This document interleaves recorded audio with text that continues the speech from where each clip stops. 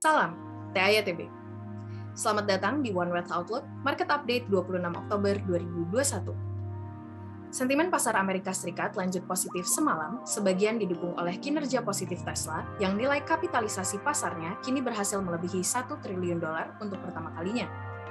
Penguatan tersebut pun datang menyusul Hertz, sebuah perusahaan rental mobil yang memesan 100.000 kendaraan listrik Tesla. Indeks benchmark S&P 500 menguat sekitar 0,5 persen menuju rekor tertinggi baru. Perserikatan Bangsa-Bangsa alias PBB memperingatkan bahwa dunia berpotensi akan menghadapi bencana iklim pemanasan global menyusul resiko suhu global yang naik hingga 2,7 derajat Celcius pada tahun 2100. Khususnya jika negara-negara gagal menetapkan target jangka pendek yang konkret untuk mengurangi emisi.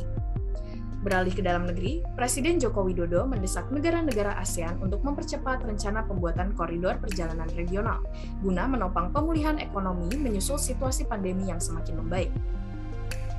Presiden menambahkan bahwa ASEAN memiliki salah satu tingkat pembatasan tertinggi di dunia, sehingga penting bagi kawasan ASEAN untuk memiliki koridor perjalanan regional bagi yang telah tervaksinasi. Di pasar, IHSG ditutup melemah 0,27 persen ke level 6.625 kemarin di tengah aksi profit-taking investor.